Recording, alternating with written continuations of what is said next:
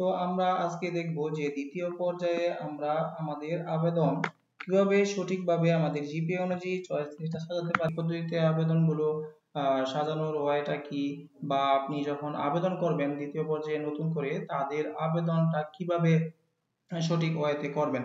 তো এই সব কিছু মিলিয়ে হচ্ছে আজকে কথা বলব। প্রথমত আপনাদেরকে বলে রাখি যেখানে একটা প্রবাদ রয়েছে যে মানুষ অবস্থায় যখন আপনি আবেদন করেছিলেন, সেইখানে হয়তোবা আপনি সঠিক ওয়েতে টেকনোলজি গুলো চয়েস লিস্ট দিতে পারেন নাই বিদায় আপনার চান্সটা প্রথম পর্যায়ে হয় নাই। তবে এখানে ওরিট বা চিন্তিত হওয়ার কোনো কারণই নেই। কারণ হচ্ছে যে আপনারা ইতিমধ্যে জানেন, আমাদের বেশ কিছু আসন কিন্তু ফাঁকা রয়েছে। এই ফাঁকা আসনগুলো দেখা যায়। তো আপনি যে ইনস্টিটিউটে আবেদন করবেন সেই ইনস্টিটিউটের ফাঁকা আসনটা প্রথমত দেখে নেবেন। তো সেই ফাঁকা আসন দেখার ওয়েটা হচ্ছে আপনি সরাসরি চলে আসবেন এই যে ওয়েবসাইট দেখতে পাচ্ছেন সেইখানে সেইখানে এসে আপনার বাম পাশে প্রতিষ্ঠানের তালিকা। এই তালিকায় যদি আপনার ডিস্ট্রিক্ট এবং জেলা ভিত্তিক যে ফাঁকা আসনগুলো রয়েছে সেগুলো কিন্তু আপনি অনায়াসে দেখতে পারবেন।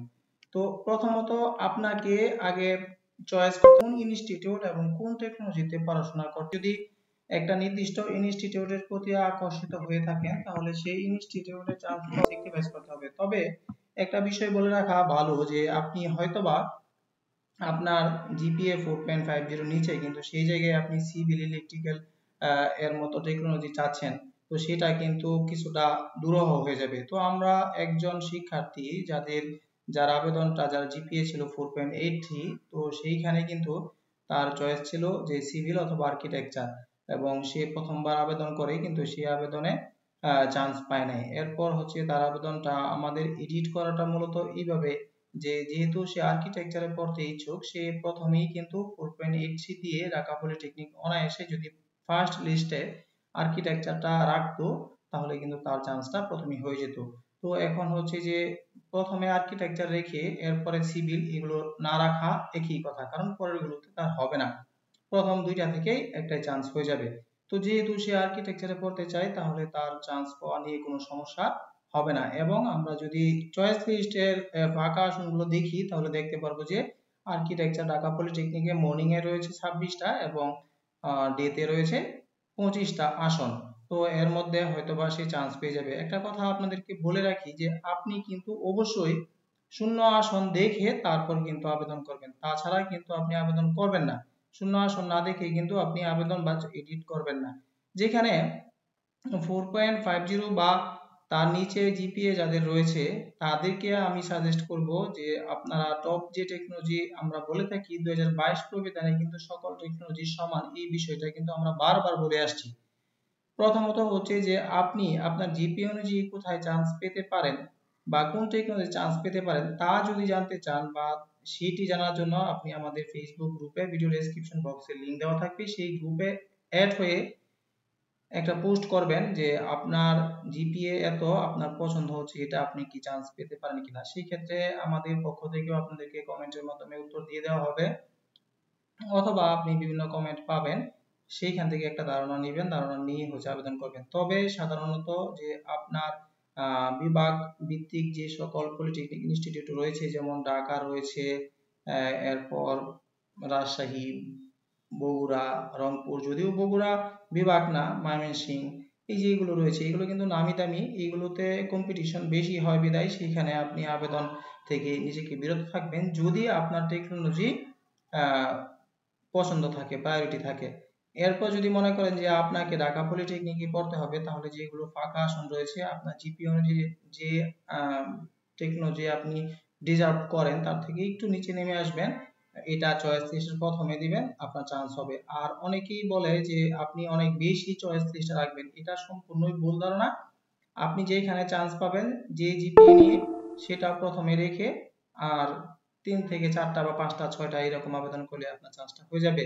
তো এমনও হয়েছে যে একই জিপিএ অর্থাৎ কিউ ফোর পয়েন্ট সিক্স কিউ ফোর পয়েন্ট ফোর জিরো সে কিন্তু যে ফোর পয়েন্ট সিক্স পেয়েছে, তার চয়েস লিস্টে দুই নম্বরে প্রথমে যেটা রেখেছে চান্স পায় নাই, দুই নম্বরে যেটা রেখেছে, সেইখানে কিন্তু ফোর পয়েন্ট ফোর টু দাঁড়ি সেই দুই নাম্বার চয়েস লিস্টটা এক নম্বরে রেখে সে কিন্তু চান্স পেয়েছে। তো কাজেই আপনার চয়েস লিস্টের এক নাম্বার এবং দুই নাম্বার যে আসনগুলো সেইগুলো কিন্তু খুবই খুবই গুরুত্বপূর্ণ। এই এক, দুই, তিন যদি ঠিকঠাক মতো দিতে পারেন, তাহলে আপনার চান্স হয়ে যাবে। তো আমি আপনাদেরকে বলব চয়েস লিস্ট আপনার যেরকম ছিল, সেটা থেকে সরে আসবেন। আপনার জিপিএ অনুযায়ী আপনি কোথায় চান্স পেতে পারেন, কোন ইনস্টিটিউট আপনার জন্য প্রযোজ্য হবে, সেটা অবশ্যই আপনি নিজেকে প্রশ্ন না করে আপনি হচ্ছে আমাদের ফেসবুক গ্রুপে পোস্ট করে দিবেন। তো সেখান থেকে আমাদের পক্ষ থেকে আপনাদেরকে একটা ধারণা দেওয়া হবে। অনেকেই সেখানে কমেন্ট করবে। অথবা আপনার বন্ধু বান্ধব যারা চান্স পেয়েছে, তার জিপিএ কত ছিল সে কত জিপিএ দিয়ে যে ইনস্টিটিউটে পড়তে যাচ্ছেন, সেইখানে অনেকেই আপনার ফ্রেন্ড সার্কেলের মধ্যে অনেকেই রয়েছে চান্স পেয়েছে। সেটা অবশ্যই আপনি জেনে তারপর আবেদন করবেন। এখন আবেগের বশবর্তী হয়ে আমাকে সিভিলে পড়তে হবে, আমাকে ইলেকট্রিক্যালে পড়তে হবে, অথচ আমার জিপিএ 4.25 এটা কখনো সম্ভব না। এই বিষয়গুলো মাথায় রাখবেন। আপনাদেরকে একটা কথা বলি যে, এই মুহূর্তে 2022 প্রবিধানে আপনি কিন্তু ইলেকট্রিক্যালে না পড়লেও আপনি যদি ইলেকট্রো মেডিকেল ইলেকট্রনিক্স মতো টেকনোলজিতে পড়েন, তাহলেও কিন্তু ইলেকট্রিক্যালের সার্টিফিকেট পাচ্ছেন। অর্থাৎ ইলেকট্রিক্যালে যারা গভর্নমেন্ট জবে যে সকল সার্কুলার হয়, আপনি ইলেকট্রো মেডিকেল বা ইলেকট্রনিক্স পড়েও সেই সার্কুলারে অ্যাপ্লাই করতে পারবেন।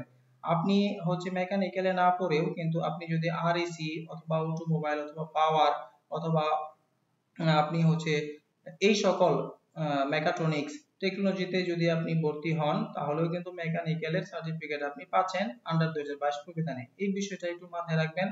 এবং আপনাদেরকে বলে রাখি যে ডিপ্লোমা ইন ইঞ্জিনিয়ারিং এ পড়ালেখার ক্ষেত্রে আপনার টেকনোলজি এবং আপনার ইনস্টিটিউট কোনোটাই আপনাকে সহযোগিতা করবে না। আপনি নরমাল টেকনোলজি বলে কোনো কথা নেই। আপনি ফুড এবং আরইসির মতো টেকনোলজি নিয়েও কিন্তু ভালো করে যদি পড়াশোনা করেন, আপনি ভালো কিছু করতে পারবেন। আর আপনি সিভিল ইলেকট্রিক্যাল নিয়েও যদি ভালো করে পড়ালেখা না করতে পারেন, তাহলে কিন্তু আপনার ওই সিভিল ইলেকট্রিক্যালে কোনো লাভ আদৌ হচ্ছে না। এখানে মূল বিষয় হচ্ছে যে, আপনি নিজেকে কতটা প্রস্তুত করতে পারবেন, কোন টেকনোলজিটা আপনি ভালো করে পড়ালেখা করতে পারবেন, আপনার মানসিক দৃঢ়তা কতটুকু রয়েছে, সেটার উপর কিন্তু ম্যাক্সিমাম বিষয়গুলো নির্ভর করে। তো যারা ডিপ্লোমা ইন ইঞ্জিনিয়ারিং এ ভর্তি হবেন তারা সেকেন্ড পর্যায়ে আবেদন করতেছেন, এই বিষয়গুলো মাথায় রেখে সেকেন্ড পর্যায়ে আবেদন করেন এবং আপনার চয়েস লিস্টগুলো সাজান। আপনাদের প্রত্যেকের জন্য শুভকামনা থাকবে। পরবর্তীতে যে কোনো প্রশ্ন বা যে কোনো জিজ্ঞাসা যদি থাকে, আমাদের ফেসবুক গ্রুপে পোস্ট করবেন অথবা আমাদের ফেসবুক পেজে ইনবক্সে মেসেজ দিবেন অথবা আমাদের এই ভিডিওর কমেন্ট সেকশনে কমেন্ট করে জানিয়ে দিবেন। আর খুব বেশি প্রয়োজন হলে আমাদের হেল্পলাইন নাম্বার রয়েছে ফোন দিতে পারেন। ধন্যবাদ সবাইকে, ভালো থাকুন।